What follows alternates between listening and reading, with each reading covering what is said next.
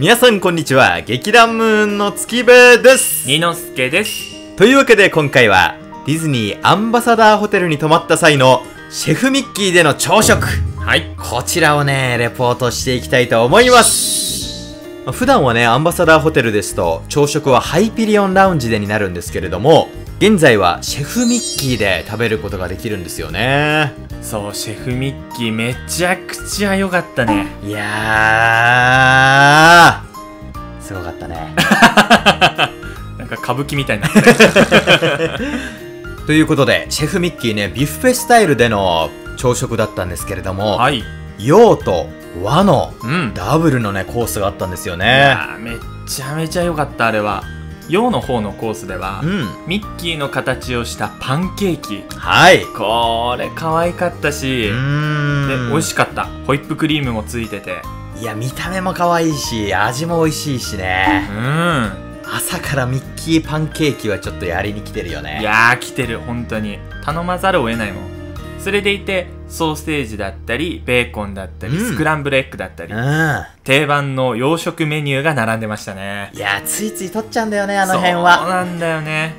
それで和の方のコースなんですけど、うん。和の方のコースに関しては焼きおにぎりだったりはい。和風パスタうん。そして豚の角煮があったんですよ。いや朝からねもうボリューム満点。そう。ボリューム満点大満足でしたね。いや本当にめちゃめちゃ大満足だった。それに加えて白米とうどんもあったんですよ。いや炭水化物祭りだったよね。そう。それで終わらないのがすごいところではい。そこにカレーがあったわけですよ。これが何を意味するか。というと普通のカレーライスにもできますしはい。カレーうどんにもできるわけですよ。なるほど。もう脱帽しました。両方いっちゃった。行きましたよ。パンプクリーンでしたけどねお腹は。いやーすごかったよいやねすごい。いやあそこまで正直種類があると思ってなかったから、ちょっと驚いたね。そう。一つ私がおすすめするのははい。先に和のコースを制覇した方がいいですね。おおその心は？和のコースの方が炭水化物が多かったので、はい。お腹にたまるんですよ。なるほど。なので洋を先に行ってから2回目和だとかなりきつかったです。なるほどね、はい。まあ、最初にじゃあ和の方に行ってある程度うん。自分が食べる炭水化物を決めてはい。取ってきてそれからゆっくりとうん。洋の方に行くと。そうですね。で先ほども月兵衛さん言ってましたけど、はい。メニュー数が本当に多いので、片っ端から食べていくってよりも最初はやっぱり好きなものをかいつまんで選んでいくっていうのが賢いと思いますね、それは確かに言えてるよね。もうね二之助さんなんかもう、まあ、ほぼほぼなんか角煮で終わってたような感じだったけどね、うんもうなんか大皿でいただきますぐらいの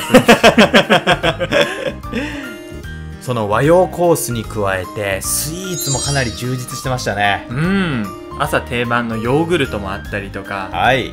そうパンナコッタだったりティラミスだったり、うん。あと一口で楽しめるグミとかポップコーンとか。はい。こちらも充実してましたね。もうね二之助さんもテキーラショットみたいな感覚でポップコーンいっちゃってましたもん もうねポンポンポンポンいっちゃいましたよ。前日からグロッキーだったのにね お酒でね。懲りないね。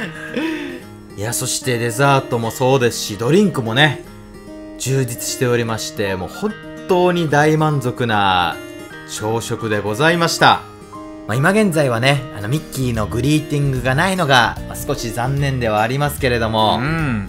でもねレストランの真ん中にミッキーさんいましたし。そう。そしてねミッキーとミニーのパンもあってねそれも動いてましたから。パン動いてたっけ？動いてなかったしな手振ったりしてなかっえ？飲みすぎじゃないあなた？たあちょっと二日酔いだったのかな、うん人のこと散々なんか言ってるけど。すいません、うパンは動いてない。んみんなの心の中では動いてるかもしれないね。シェフミッキーのブレックファーストは宿泊者限定にはなりますけれどももし気になる方がいましたらアンバサダーホテルにゆっくりと泊まってこちらのビュッフェ楽しんでいただきたいと思います。というわけで本日はこれにて終演でございます私たちのチャンネルではディズニーをもっともっと好きになっていただくためのお役立ち情報やパークフードレビューなどを配信しております動画が面白いと思ってくださった方はチャンネル登録や高評価をしていただけますと、とても励みになります。よろしくお願いいたします。それでは本日もご視聴いただき、誠にありがとうございました。